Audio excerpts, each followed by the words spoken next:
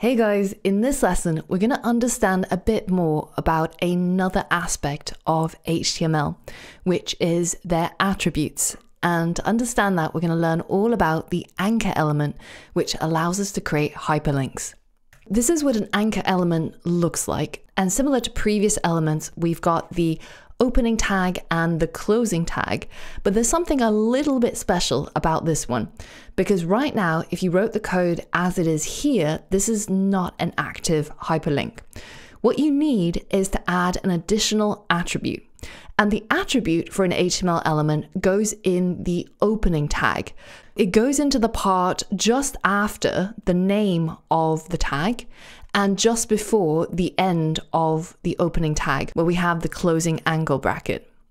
And what an attribute does is it adds additional information to this HTML element, such as in this case, where this link should link to. Now, the way that we structure an attribute looks something like this. So we have the name of the element, and then we have a space, and then we have the name of the attribute. And afterwards, we have a equal sign. And after the equal sign, we have the value of the attribute. Now, you can have as many attributes as you want, and all you have to do is simply separate each one of them with a space and make sure that they all go into the opening tag. Now, in the case of our image element, if you take a look on the Mozilla uh, Developer Network documentation for the anchor element, then you can see it has the special attribute of href. And href is the part where we add the URL that the hyperlink should go to. Without the attribute, this is what you would see. It is an anchor element, and you do see the content in between the tags, but you do not see an active link. And when you click on it, nothing happens. Now, as soon as you add that href attribute and you provide it with, in this case, a target, so where should this hyperlink go to, then this link actually gets styled to show you that this is now an active link in the familiar blue with the underline.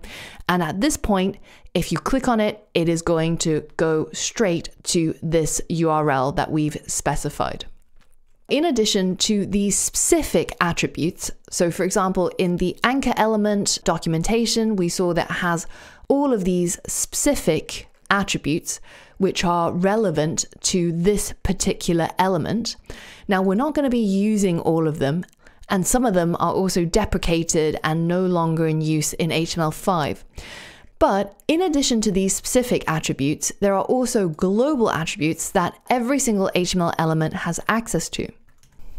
And if you look through some of these, an example is something like draggable, right? And it basically allows us to set true or false to say whether if the element may or may not be dragged. You can apply a global attribute to any given element. So in this case, we can apply it even to our anchor element. Again, we have the name of the attribute, we have the equal sign, and we have the value of the attribute. So in this case, the name of the attribute is draggable, and we've set it equal to true. So once this attribute is set, what happens is you can click and drag that anchor tag around. Now, if that attribute wasn't set, then when you try to drag it, it's just going to highlight the line and it's not going to allow that behavior. So we've learned that there are specific attributes which are reserved for only certain elements, such as the href for the anchor tag, and there are global attributes which can be used on any HTML element. So now let's try an exercise and see if you've understood how to use anchor elements, and more specifically, see if you've understood how the HTML attribute is written in HTML code. In this exercise, we're going to create a website that shows our top five favorite websites. I've got the H1 already written for you, but what we're aiming for is something like this. So you have a list here, and notice that this is actually an ordered list because it goes from one all the way to five. And the fact that the list is not highlighted in blue should show you that this is actually created using a list element and not a part of the anchor tag. It's not a part of the content. And the anchor tag only starts here. I want you to document your top five all time favorite websites. And feel free to Google or check mine if you want to see what they do. These are some of the websites that I go to when I'm bored or when I'm trying to look for some new ideas and new inspiration. So, I want you to use what you've learned previously about creating lists. And within those lists, I want you to create five anchor tags, each of them pointing to a different website that you like. And if you've got everything working, then you would end up with a website that looks like the goal. And when you click on any of these links, then they should take you to the correct website. Pause the video now, give this challenge a go, and once you're done, come back here and I'll go through the solution with you.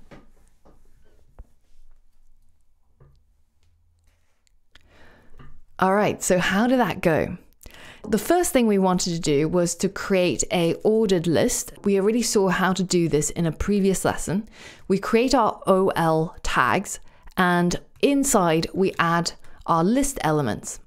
Inside the list element is where our anchor tag is going to go.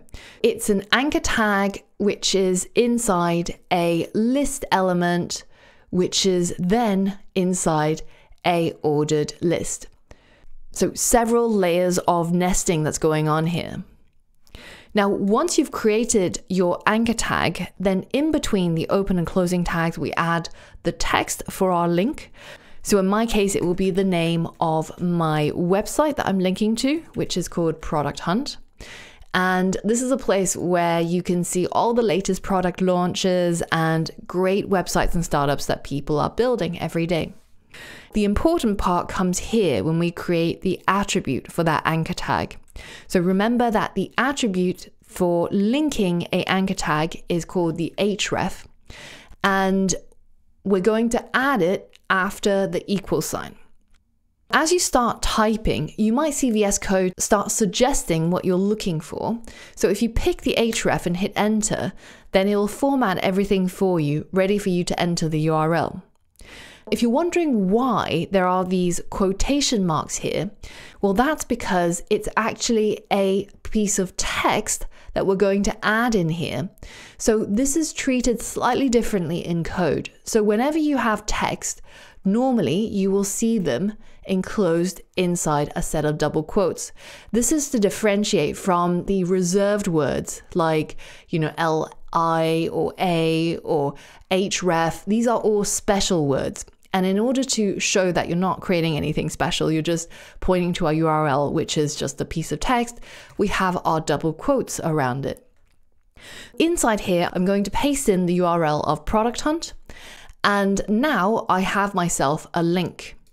And if I go ahead and show preview, then you should see that we've got our list item one and when I click on it, it goes to the website that I have um, linked to. You can repeat this process and link to all of your five favorite websites, and you should end up with something that looks like this. And as an extra challenge, I want you to head over to the developer documentation for the ordered list, which you're using in this current code exercise, and look at the attributes. I want you to see whether if you can change one of the attributes, the start attribute, so that your list, instead of starting from one, starts from five. This is what you're aiming for pause the video, give that a go, and then afterwards we'll go through the solution together. Let's take a look at the documentation. We can see that for the ordered list, one of the attributes is called start. And in the explanation, it says all we have to do is to set this attribute to a number for it to start from. So that's pretty simple. But we need to remember where our attributes go. So they go in the starting tag, which is here. And the name of the attribute is start. and we can set it equal to 5. Now, once we've done that, if we take a look at our website, you can see the order list now starts from 5 and ends at 9 because we've changed that attribute. Hopefully, that wasn't too difficult and you managed to get it to work. Have a quick review of the concepts that are covered in this lesson. And remember, we're always trying to repeat things that we've learnt before just to make sure that we reinforce those pieces of knowledge from earlier on. And one thing I like to do as I learn is to make some notes on the things that are new to me that I didn't realize before. So if there's something new in this lesson that you want to write down, take a quick note of it and then head over to the next lesson where we talk about image elements. For all that and more, I'll see you there.